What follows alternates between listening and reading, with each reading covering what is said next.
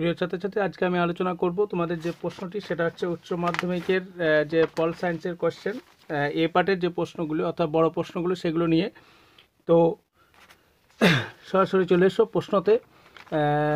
চল্লিশ নাম্বারের জন্য যে আট করে প্রশ্নগুলো থাকে সেগুলো। তো তার আগে একটা কথা বলি যে, আমি যে সাজেশন দিয়েছিলাম, সেই সাজেশনের তোমরা যারা ফলো করেছ, তারা নিশ্চয়ই বুঝতে পেরেছ তাদের কত সুন্দর পরীক্ষা হয়েছে।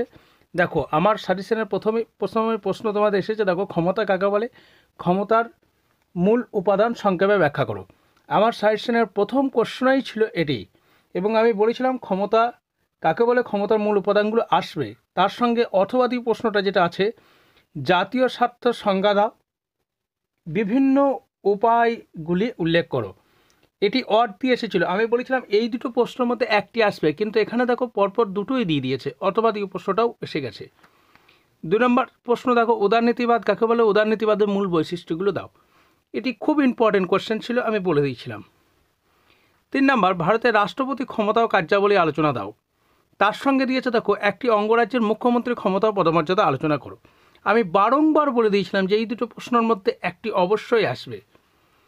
তৃতীয় যে প্রশ্নটা দেখো দিয়েছে, ভারতীয় পার্লামেন্টের ক্ষমতা ও কার্যাবলী আলোচনা করো। এটাও খুব ইম্পর্টেন্ট আমি বারংবার বলে দিয়েছিলাম। পঞ্চম প্রশ্ন, ভারতের সুপ্রিম কোর্টের গঠন ও কার্যাবলী আলোচনা করো। আর শেষকালে যে প্রশ্নটি, ক্রেতা সুরক্ষা আদালতের ওপর একটি সংক্ষিপ্ত টিকা লেখো। প্রশ্নগুলো আমি বারংবার বলে দিয়েছিলাম, গোটা দশে কোশ্চেন দিয়েছিলাম, সেখান থেকেই কিন্তু সমস্ত সাইসিংগুলো এসে গেছে এবং তোমরা তাই ইতিহাসের যে সাইসিংগুলো দিয়েছি, অবশ্যই একবার দেখে নিও। ভিডিও ভালো লাগলে লাইক, শেয়ার কমেন্ট করতে ভুলো না। পরবর্তী বন্ধুকে শেয়ার করো। আমার সাইসেনগুলো মেনে চলো। পরবর্তী পরীক্ষাগুলো খুব খুব খুব সুন্দর হবে। ভিডিওটি দেখার জন্য ধন্যবাদ।